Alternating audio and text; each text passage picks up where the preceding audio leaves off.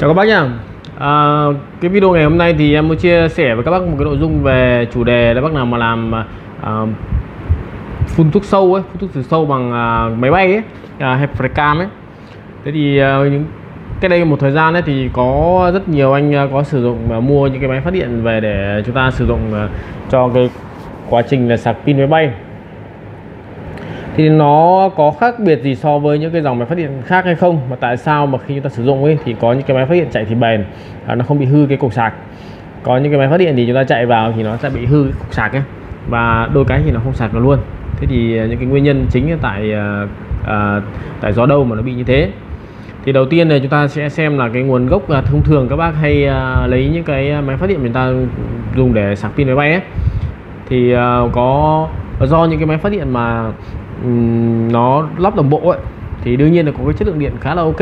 Ví dụ như là à, những cái dòng máy thương hiệu Denso hoặc Janma à, những cái sản phẩm mà đã thiết kế sẵn từ 10 à, à, từ 10 đến 15 kVA thế thì để sạc được cho cái cái dòng uh, pin ấy, thì nó có dòng T30 là dùng cái điện một pha. À, nó sẽ có hai cái đầu vào T40 là điện ba pha. Để xài được T40 à, ấy thì uh, nó cần khoảng 15 kVA nha các bác nhé trung bình dòng sạc của nó sẽ rơi vào tầm khoảng 10 17 à, ampe 17 uh, à, có thể uh, sẽ giảm xuống. Nên cái công suất của mình uh, phải đáp, đáp ứng được uh, trung bình cái dòng nó tầm khoảng 17A uh, nhưng mà cái dòng một pha thì nó sẽ sẽ sẽ cần năng lượng uh, lớn hơn. Uh, thực tế thì nó cũng rơi vào tầm khoảng uh, hơn 40 ampe một tí là có thể sạc được rồi. Sạc pin máy bay thì nó sạc uh, với lại cái thời gian ngắn uh, nhưng mà cần cái dòng khá là lớn chính vì thế cái máy chúng ta phải khỏe để đáp ứng được cái ờ, thời gian sạc ngắn à, nó đảm bảo. À, với cái vấn đề là thông thường chúng ta đưa những cái máy phát điện đấy thì có sẵn ngoài thị trường không? Thì có. Tuy nhiên thì nó gặp mấy cái vấn đề các bác à, khó sử dụng à, hoặc là khó trang bị cái thiết bị. Đó chính là cái à, kích thước của cái máy thông thường thì nó là những cái máy có thùng cách âm ấy nên là nó sẽ à, rất là cồng kềnh và nặng. Chúng ta đưa lên ghe chúng ta đưa lên vỏ ấy thì à, cái trọng lượng khá lớn ảnh hưởng đến cái việc mà chúng ta di chuyển à, cũng như là đưa lên đi xuống nhá. Đấy trọng lượng thông thường nó rơi vào tầm khoảng 500 đến 600 cân. Cả một vấn đề khá là lớn để chúng ta hạ thủy một cái máy phát điện lớn như thế. Rồi là còn cái vấn đề nữa đó chính là cái quá trình sử dụng ấy thì thông thường những cái máy phát điện nó chỉ ra một loại điện thôi. Ví dụ như là ra điện là zin thì 3 pha 200V 300 pha 200V thì chúng ta có thể mang chúng ta sạc được cái T T30 được. Nhưng mà T40 thì nó dùng điện 380 thế thì để mà chuyển đổi thì nó hơi phức tạp. Và để chuyển đổi phức tạp và phải có một cái cơ cấu đặc biệt thì có thể chuyển đổi mà chúng ta giữ nguyên được công suất. À, Ờ, nhưng mà trong cái thiết bị sản phẩm đấy thì nó lại không có không có đáp ứng được cái nhu cầu là sử dụng được cả hai nguồn điện. À, chúng ta dùng mà điện mà à, 380 ấy thì khi sử dụng sang sạc T30 ấy thì nó sử dụng có hai cực thôi nên nó bị lệch pha xài không được. Chính vì cái nguyên nhân bị lệch pha như thế ấy, thì dẫn đến là chúng ta sẽ bị hư hỏng cháy thiết bị. Nên là à, rất là khó sử dụng nhá. Nó dùng 3 pha thì thì đỡ nhưng mà dùng có có mỗi hai pha thôi. Thế thì chuyển đổi cái qua đây qua, chuyển đổi là qua lại 380 220 thì gần như không đáp ứng được thì chúng ta phải làm một cái thiết bị nào đấy có thể chuyển đổi mà giữ nguyên công suất mà không bị lệch pha thì chúng ta sẽ xài được. Thì nó có hai cái vấn đề chính đó chính là trọng lượng và cái vấn đề thứ hai nữa là chúng ta chuyển đổi để chúng ta sạc cho từng cái loại uh, uh, cái loại củ sạc khác nhau. Nó không có tương thích. Đấy. Uh, nên là à, rất là khó để mang sử dụng. Và một cái đặc điểm một cái một, một cái yếu tố cũng rất là quan trọng đó chính là giá thành. Với những cái giá thành những cái máy phát điện mà chạy với công suất như thế lớn như thế thì là có cái chi phí cũng khá là lớn đấy có thể từ ờ, sáu bảy chục triệu đến cả hàng trăm triệu. Nếu mà cái máy mà công suất lớn mà giá nó rẻ thì cái, cái cái chất lượng của nó thì nó hơi kém một tí. Còn nếu mà chúng ta sử dụng cái máy mà hàng chất lượng ấy thì mang sử dụng dân dụng thì bán thì với giá thành nó cao hơn. Nên là chúng ta gặp khó khăn một cái vấn đề chúng ta lựa chọn. À, thứ nhất là nặng thứ hai là giá thành còn thứ ba là khó chuyển đổi thế thì em thấy là cũng có một số anh à, à, đấu máy phát điện à, thực tế là em có đấu cho một số một số cái rồi.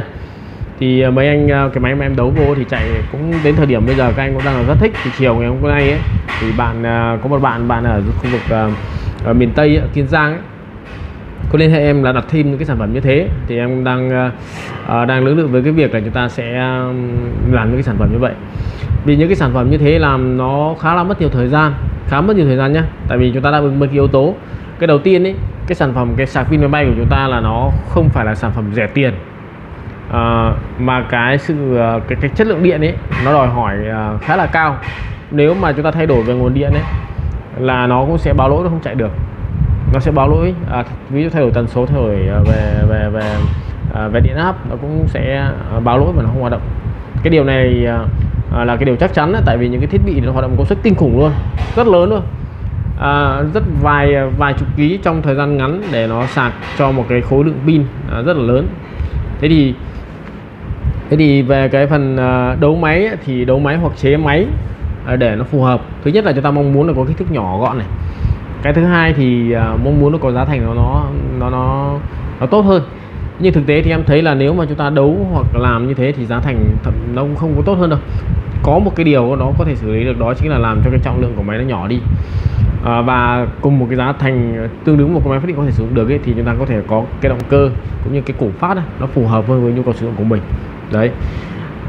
Hai cái yếu tố đấu và hạ thì chúng ta có thể là làm chúng ta có thể làm được chúng ta có thể làm được để hạ giá thành và lắp đặt một máy phát điện có công suất lớn như thế. À, nhưng mà à, chúng nhưng mà nó lại gặp một cái vấn đề khó khăn đó chính là cái quá trình mà đấu nối như thế.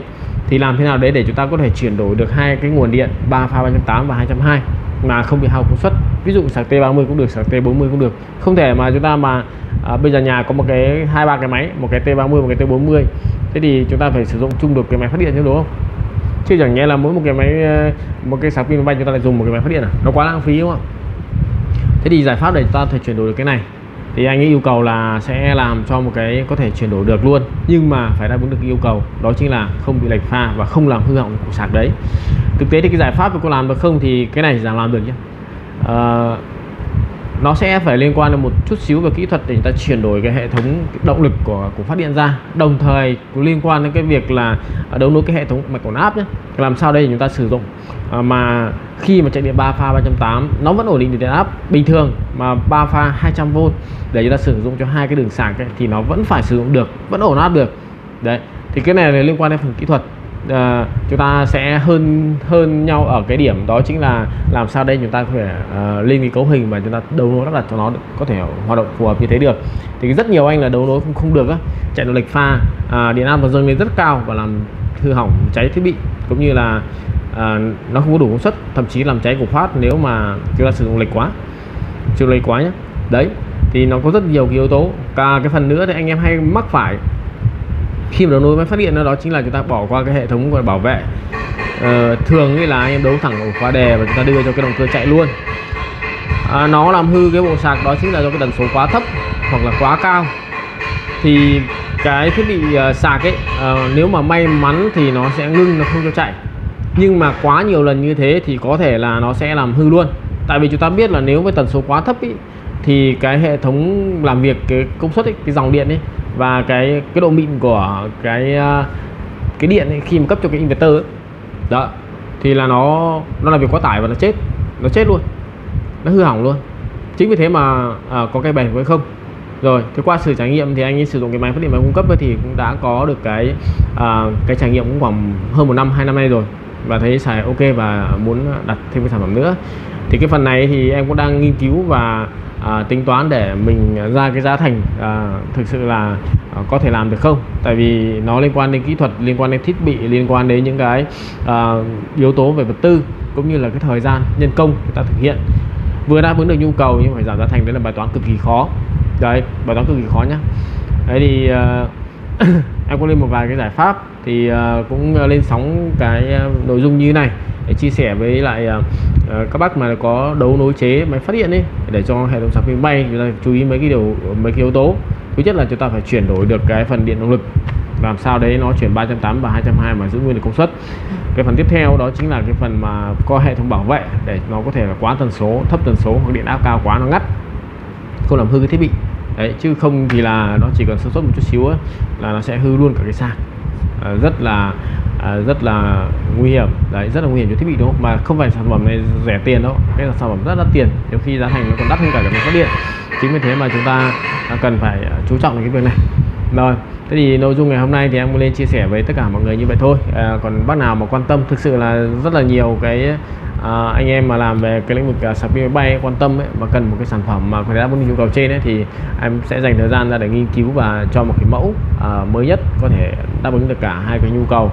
Đó chính là sạc được à, cả hai loại T30 40 trên một cái máy phát điện đồng thời vẫn có chế độ bảo vệ và kích thước thì nhỏ gọn. À, nhưng mà vẫn phải đảm bảo chất lượng. Đó chính là sử dụng những cái động cơ ờ, có hiệu suất cao và từ Nhật à, ví dụ như Yanmar Kubota hoặc là Isuzu. Đây là những cái thương hiệu mà à, đã à, có cái thị trường ở Việt Nam sử dụng khá là lâu rồi và người ta đều đánh giá và trải nghiệm được. Và quan trọng nhất ấy, thì nó cũng sẽ có được cái phụ tùng để người ta thay thế. Nếu trường hợp xảy ra à, xảy ra cần bảo trì bảo dưỡng hoặc là là đại tu máy nhé Ok và cái video ngày hôm nay thì à, em sẽ kết thúc ở đây. Hẹn gặp lại à, tất cả các bác ở những cái video tiếp tới tiếp tiếp theo nhé Ok xin chào và hẹn gặp lại.